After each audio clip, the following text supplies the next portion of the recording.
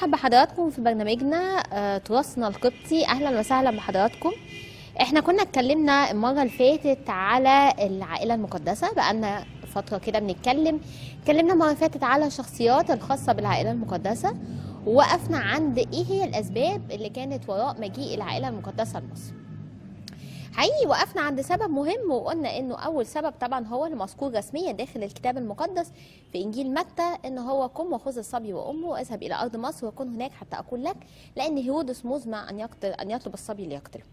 وحقيقي هو إحنا لو بنتكلم بصريح العبارة يمكن إحنا بنشوف إنه هيرودس راجل مش كويس واتكلمنا على تاريخه وإنه إنسان قاتل وان هو كان صعب جدا في التعامل وان هو عمل ده كله كان عايز يوصل للسيد المسيح بأي شكل لأنه كان فاكر إن هو ملك أرضي راح يجي ياخد منه الحكم بتاعه ومش هيقدر إن هو حتى اولاده يورثوا العرش من بعده. لكن طبعا كل الكلام ده مش صحيح. بس إحنا عشان يعني المفروض نبص على هيرودس من وجهة نظر تانية إحنا المفروض إن إحنا نشكره لأن هو بسببه هو ده اللي خلى إنه السيد المسيح له المجد إن هو يجي لمصر هو والقديسه العذراء مريم قديس يوسف النجار وسالومي طيب ده السبب الرئيسي اللي إحنا كلنا عارفينه واللي مكتوب داخل الكتاب المقدس. بس في أسباب تانية ممكن تكون مش مذكورة رسميا داخل الكتب لكن ممكن إن إحنا نقول إنها برضو من ضمن الأسباب.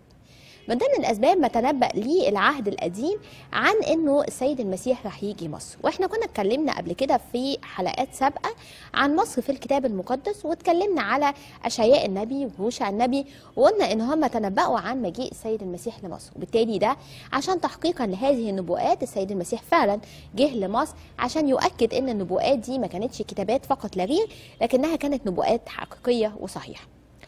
الحاجة الثالثة والمهمة إنه السيد المسيح جه لمصر ربما إن هو ده أكتر مكان آمن كان بالنسبة له. صحيح إحنا النهارده دايما يقولوا يقولوا ده ده شعارات وإنه الكلام ده مش حقيقي. لا معلش هو الكلام ده حقيقي. هي فعلا بلد الأمن والأمان. إحنا صحيح بنشوف انه بلاد كتير جدا فيها مشاكل وان إحنا بلدنا برضو فيها مشاكل لكن إحنا بلد نشكر ربنا ربنا اداها ميزة مش موجودة في أي بلد تانية ولأن ربنا بارك هذا الشعب وبارك هذا المكان ففعلا إنه مع كل الأحداث اللي بتحصل إلا إن هي برضو بلد الأمن والأمان. ربنا بنفسه اختار هذه البلد علشان هي فعلا بلد آمنة واللي يأكد الكلام ده التاريخ نفسه إن حتى لما جينا اتكلمنا على أنبياء العهد القديم أكدنا إنه كلهم جم على مصر وجم على مصر. اللي فيهم كان جاي هربان اللي فيهم كان جاي علشان ملجأ ليها اللي فيهم كان جاي علشان يعيش فيها وعاش فيها بالفعل اللي فيهم مات واتدفن فيها. إذا معنى ذلك إن هي كانت بلد مختلفة عن البلاد التانية. ما كان بالنسبة له ممكن يروح أي بلد تانية. السيد المسيح كان ممكن يختار. سوريا كان ممكن يختار. أماكن تانية مختلفة كانت موجودة في هذا الوقت وبلاد الشام كانت أقرب بالنسبة له. لكن حقيقي هو اختار ده لأنه برضه لأنه شاف إنه في أنبياء جم قبل كده والأنبياء دول لما جم كانت فعلا هي حصن بالنسبة لهم وبلد آمن. الحاجة كمان المهمة قوي واللي شوية هنخش فيها تاريخيا وناحية سياسية. إحنا قلنا المرة اللي فاتت إنه كان في إمبراطور كان بيواكب عصر السيد المسيح. الإمبراطور ده كان إمبراطور روماني لأن دي كانت بداية حكم الرومان بالنسبة لمصر. بداية حكم الرومان كان الإمبراطور أوكتافيانوس اوغسطس واوغسطس هو أصلا مش اسم الإمبراطور. اوغسطس ده كان اللقب اللي كان بياخده أي إمبراطور بعد كده واوغسطس دي كلمة أصلا لاتينية معناها المبجل أو المعظم. أوكتافيانوس هو كان أول امبراطورا يحكم روما. بس طب السؤال المهم امال هي روما كانت بتتحكم إزاي قبل كده؟ روما قبل الفترة بتاعة أوكتافيانوس كانت دولة جمهورية ماشية بالنظام الجمهوري. فكان دايما يبقى لها القيصر بتاعها فالقيصر هو الرئيس بتاعها. عشان كده حتى من ضمن ألقاب أوكتافيانوس كان إنه بيطلق عليه قيصر كان إنه بيطلق عليه الرئيس وكان بيطلق عليه إمبراطور. فهو أول من أخذ هذا اللقب كإمبراطور. مين اللي سبقه قبلها؟ طبعا كان معروف إن هو كان يوليوس قيصر. يوليوس قيصر لما جه على مصر المفروض إن هو جه في الفترات ما بين 47 48 قبل الميلاد. والفترة دي كان الحكم فيها لدولة البطالمة. ولما جه مصر كان المفروض إنه كان في الحاكم اللي كان بيحكم في البلاد كان بطلميوس ال 13 وكان معاه أخته اللي هي كليوباترا السبعة. واللي حاول إنه يعالج المشاكل اللي كانت قايمة ما بينهم وطبعا ظهرت كليوباترا السبعة ورجعت للاصل وهو أعجب بيها وتزوج منها ودي كانت سبب بعد كده في موته لأنه طبعا هو إزاي يتزوج من واحدة المفروض إن هم كانوا ضد تماما الدولة البطلمية في الوقت ده. وخصوصا إن روما في الوقت ده كانت حطت إيديها على أغلب الدول اللي موجودة في العالم وكانوا بيدوروا إزاي يحطوا إيديهم على مصر بأي شكل. آه حقيقي هم دخ... تدخلوا في سياسة مصر بشكل كبير جدا من قبلها لكن كل ده ما كانوش قدروا يحطوا إيديهم على مصر. يوليوس قيصر لما جه لمصر سنة 48 قبل الميلاد دي كانت بدايات إن الرومان يبدأوا يبقى ليهم تواجد بالفعل في مصر. وبدأنا نشوف في التاريخ إن هو بدأ يجوب في شوارع اسكندرية دخل القصر الإمبراطوري اللي كان موجود في اسكندرية ودور على الملك والملكة ما لقاهمش. ولكن مع هذا هو اللي صلح الأمور وهو اللي قدر إنه يرجع الحكم مرة تانية. لكن في الوقت ده السكندريين كانوا ضده وعلشان كده حصلت حرب شديدة. وعشان كده الأسطول الروماني اللي كان موجود عند المينا حصل له نوع من التفجير وحصلت نيران شديدة. وده اللي خلانا تاريخيا نقول إنه مكتبة اسكندرية حصل ليها جزء من الحريق في الفترة بتاعه سنة 48 قبل الميلاد. لأن اللي يعرف اسكندرية قديما يعرف إن اسكندرية كانت متقسمة لخمس أحياء رئيسية. وإن مكتبة اسكندرية والميوزيوم اللي هم أكبر أماكن واللي اتكلمنا عليهم المرة اللي فاتت كانوا بيطلوا على المينا الملكي مباشرة يعني أول مينا رئيسية. وطبيعي ان هم كانوا بيطلوا على البحر. وعلشان كده كل المباني اللي كانت موجودة على البحر ايا كانت بقى إذا كان هو المكتبة أو غيره كل الأماكن دي اتأثرت بالنيران ده نتيجة الأسطول بتاعه. المهم إحنا ليه بنحكي القصة دي كلها؟ لأن يوليوس قيصر بعد موته الدولة الرومانية اتقسمت لجزئين. قالوا إن إحنا هنخلي واحد للشرق وواحد للغرب.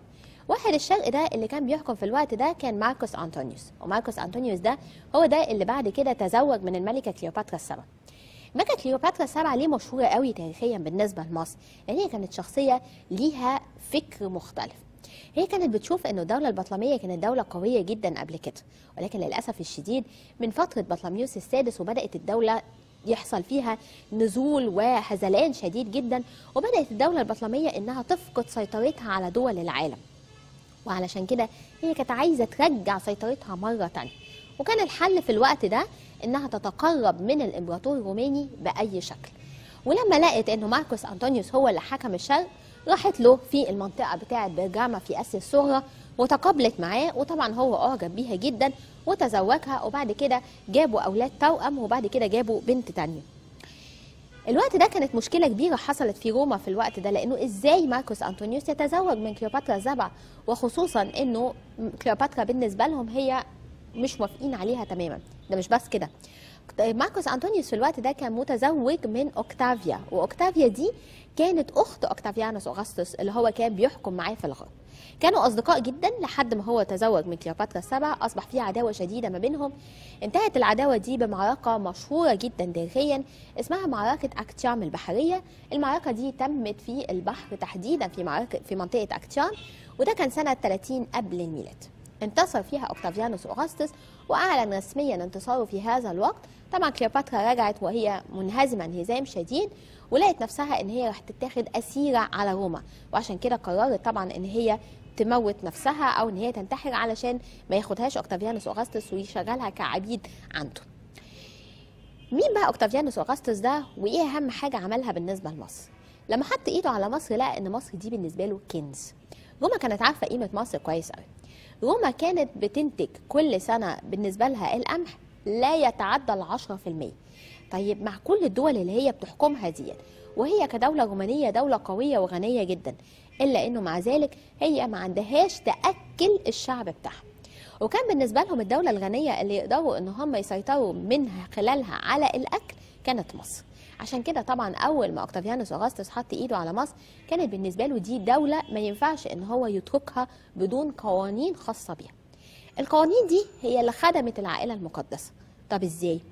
من ضمن القوانين اللي حطها أوكتافيانوس واغسطس إنه قال إن إحنا عندنا في مجلس اسمه مجلس السنات. مجلس السنات كده هو زي مجلس الشيوخ الأمريكي أو زي البرلمان اللي موجود عندنا في مصر.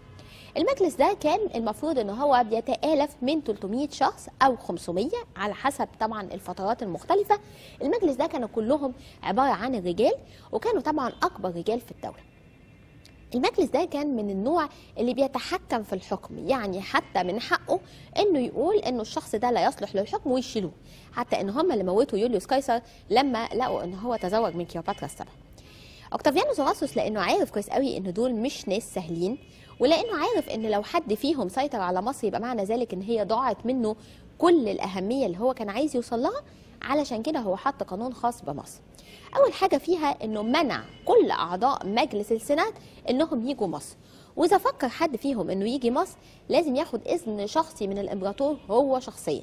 وطبعا ده لأنه كان عارف كويس جدا إن لو حد فيهم جه مصر وسيطر على مصر اذا هو بيخسر مصر تمام طيب دي نقطة مهمة النقطة التانية كمان إنه قال إنه مجلس السنات المفروض إن فيه ولايات بتتبع له، يعني إيه ولايات؟ روما لما جت حطت إيديها على الدول المختلفة أصبحت دي بالنسبة لهم ولايات، فمصر أصبحت ولاية بتتبع الدولة الرومانية. يعني أيام الفراعنة والبطالمه مصر دولة مستقلة. لكن من أول الرومان أصبحنا مجرد ولاية بنتبع الحكم الروماني علشان كده إحنا هنا كان في مصر ما كانش الإمبراطور موجود في مصر. لكن كان اللي بيحكم مصر في الوقت ده هو الوالي ما يطلق عليه praefectus باللاتيني وال praefectus ده يعني الوالي اللي بيحكم من قبل الإمبراطور اللي هو موجود في روما. وبالتالي علشان كده لما بنيجي نبص على التاريخ وإن شاء الله هنسرد ده في بعض الحلقات بعد كده هنشوف إنه التاريخ بيذكر لينا إنه عدد كبير جدا من الأباطرة اللي المفروض إن هم كانوا بيحكمونا ما جوش لمصر أصلا. وإن هم كانوا بس بيقولوا الأوامر بتاعتهم وكان على الوالي إنه ينفذ هذه الأوامر. اذا من هنا أصبحت مصر ولاية تابعة للدولة الرومانية. ولأن الإمبراطور أوكتافيانوس كان عارف إن هذه الولاية هي ولاية خاصة في أهميتها فأصبحت الولاية دي بتتبعه هو شخصيا. يعني لا يحق المجلس السنات إنه يتحكم فيها. طب ليه؟ لأنه زمان كانوا هم بيقسموا الولايات ما بينهم وما بين بعض. فجزء يبقى تابع للإمبراطور وجزء يبقى تابع لمجلس السنات. وعلشان كده خلى الولاية دي تبقى تابعة له. إيه اللي فاد العائلة المقدسة من القصة دي كلها؟ إن هيرودس ملهوش الحق إنه يخش مصر. ولا أي حد من الناس الكبار بتوع الدولة اللي موجودين في منطقة أورشليم إنهم يخشوا مصر. لأن لو عايز يخش مصر لازم ياخد موافقة رسمية من الإمبراطور ولازم يقول تعدد هذه الموافقات. وطبعا ما كانش من السهل قوي ان هو يبعت جيش وإن الجيش ده هو يبقى موجود لأنه ده بيخالف ساعتها القرار اللي كان طلعه أوكتافيانوس أغسطس. اذا مصر هي كانت فعلا بلد أمان بالنسبة للعائلة المقدسة إنه في الوقت ده لا تتبع المملكة اليهودية ولا يمكن لأي حد من اليهود إذا كانوا طبعا من علاة الدولة إنهم يجوا لمصر إلا بإذن من الامبراطور شخصيا اذا دي كانت جزئية مهمة وسبب يمكن الكتب ما بتذكرهوش بشكل واضح لكن هو تاريخيا هو ده الحقيقة. طيب إيه الأسباب التانية اللي ممكن تخلي العائلة المقدسة إنها تيجي لمصر؟ طبيعي إن إحنا كمان عندنا من ضمن الحاجات المهمة إن عارفين كويس قوي إنه حتى في الكتاب المقدس في العهد القديم إنه ارتجفت أوثان مصر أمام السيد المسيح. ده حقيقي. إحنا عندنا في أماكن مختلفة لما هنيجي نتكلم دلوقتي على الآثار المرتبطة برحلة العائلة المقدسة في مصر هنشوف إنه في أماكن كتير زي منطقة الاشمونيين زي منطقة تل بسطه أماكن مختلفة هنلاقي إن فيها الأصنام والأوثان تبددت بدخول السيد المسيح. اذا دي كانت كأنها هي دي البداية يعني كأنها البذره الأولانية اللي بتقول إنه هيبقى فيه المسيحية في مصر. البذره بدأت مع المجوس اللي هم كانوا من بلاد فارس والبذره بدأت مع المصريين من خلال مجيء العائلة المقدسة بنفسها لمصر. اذا دي برضو كانت جزئية مهمة لمجيء السيد المسيح لمصر. سيد المسيح يختار انه يجي مصر ما اختارش الدول الكبرى اللي إحنا بنسمع عليها النهارده. ما اختارش انه يروح لفرنسا طب ما هي كانت فرنسا موجودة كان بلاد الغال كانت موجودة.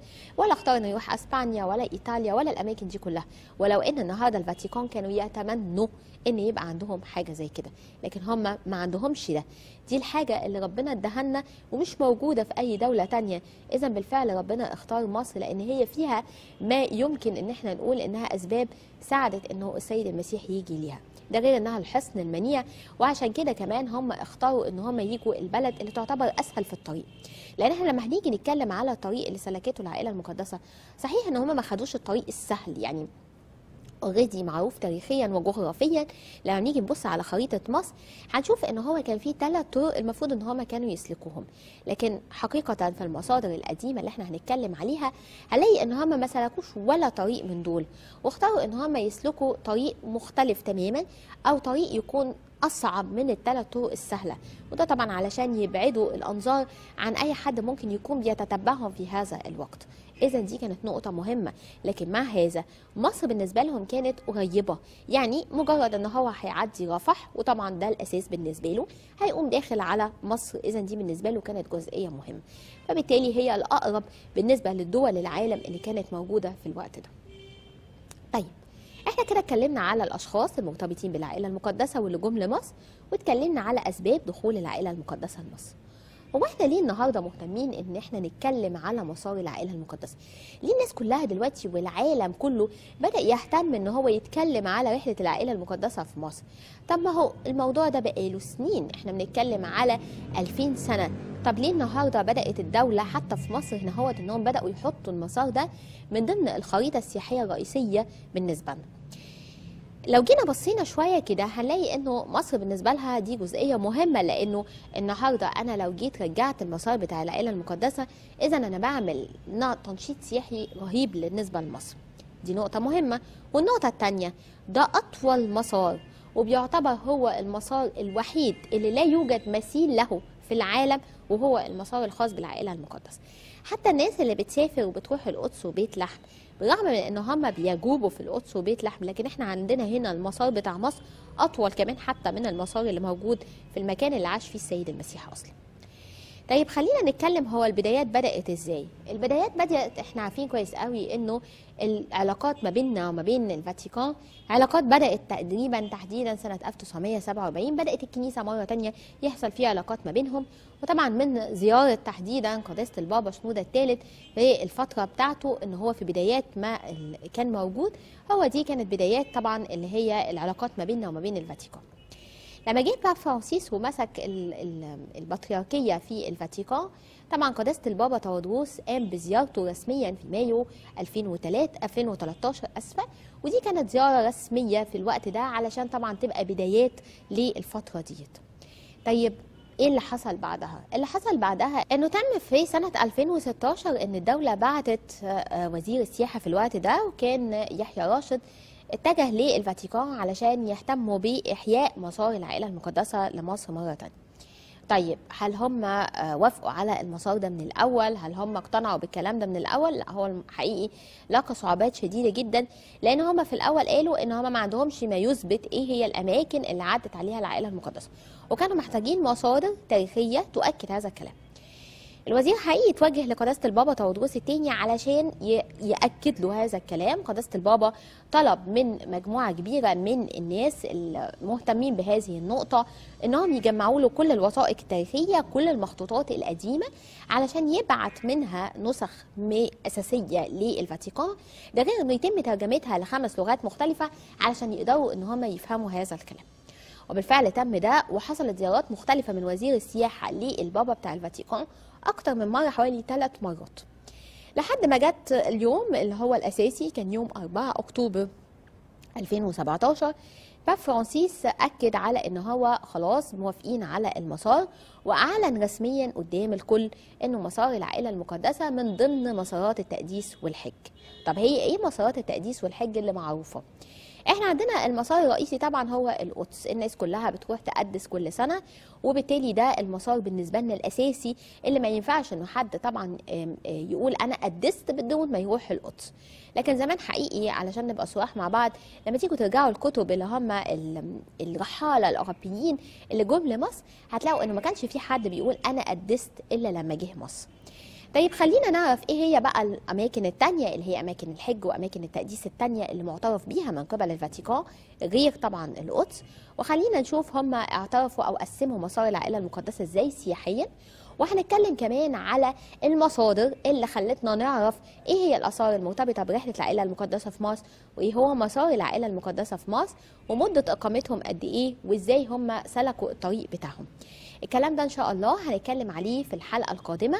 أتمنى إن حضراتكم تتواصلوا معانا في الحلقات القادمة لأن إحنا لسه الموضوع له بقية كبيرة جدا وهو موضوع مهم جدا علشان هو ده اللي هيخليكم انكم لازم تيجوا مصر عشان تقدسوا وتكملوا التقديس بتاعكم إذا كنتوا أصلا قدستوا في القدس ولا لأ أو ما قدستوش يبقى لازم تروحوا القدس وتيجوا مصر بعد كده علشان مسار العائلة المقدسة.